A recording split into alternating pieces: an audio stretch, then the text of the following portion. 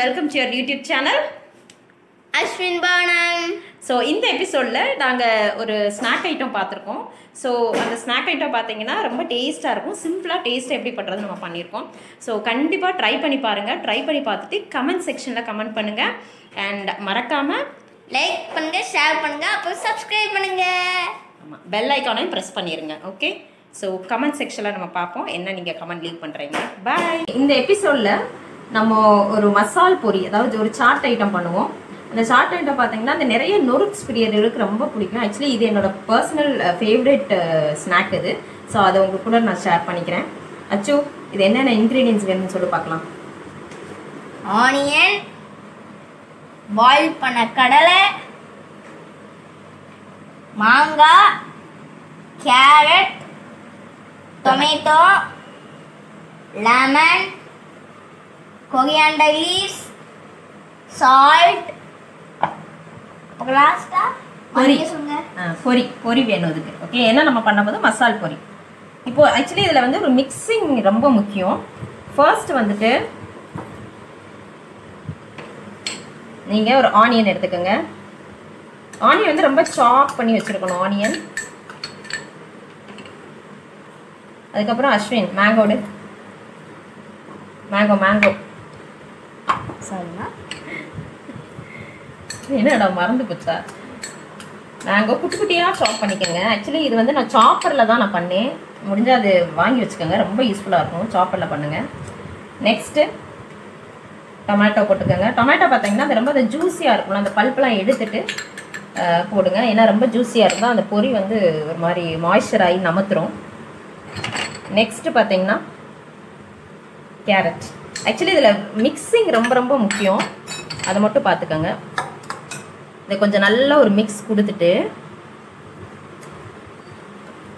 Okay நல்ல ஒரு mix கொடுத்துட்டு இப்போ வந்து இந்த கடலை ஆட் பண்ணிக்கோங்க.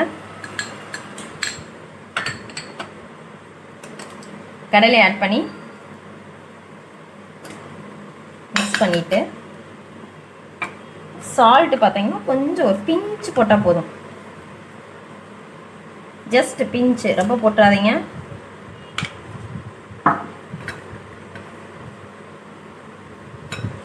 லெமன் லெமன் சும்மா ஒரு ஃபியூ ட்ராப்ஸ் பண்ணால் போதும் விட்டால் போதும்.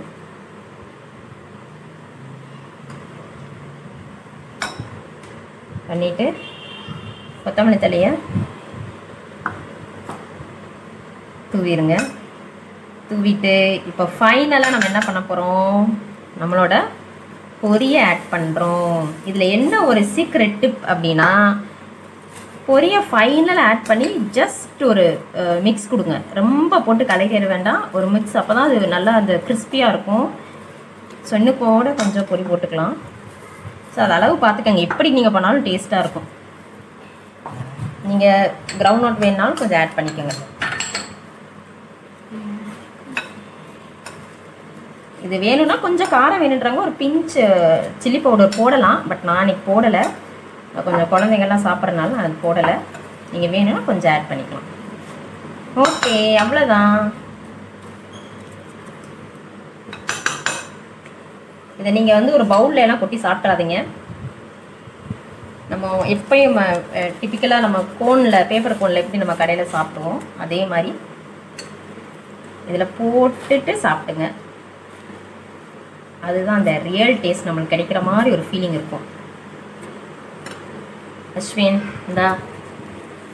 இது அம்மாக்கு ஓகே ஓகேம்மா ஃபஸ்ட்டு நம்ம ரெண்டு பேர் மட்டும் சாப்பிடுவோம். அப்புறம் எல்லாத்துக்கும் கொடுப்போம்.